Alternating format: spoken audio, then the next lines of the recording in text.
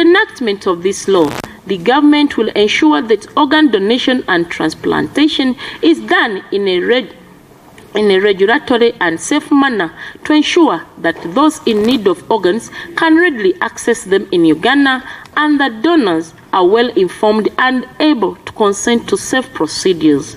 We are confident, Mr. Chair, that organ transplantation will be a safe procedure that gives new hope and new life to thousands of people. I hereby present on behalf of the Commission with my colleagues here. The donor should consent, should give reasons as why is withdrawing at the last moment.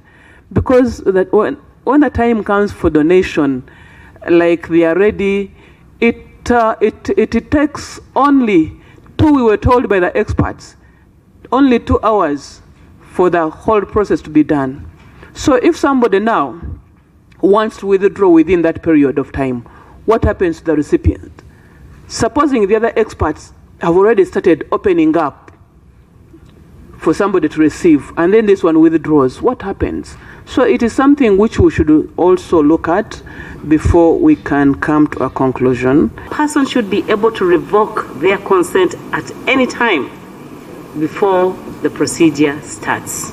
And we have talked about informed consent. There should be sufficient information given to this person so that there is no likelihood of revoking uh, their consent. They should know the risks, they should know the advantages, and they should also weigh the risks over the advantages.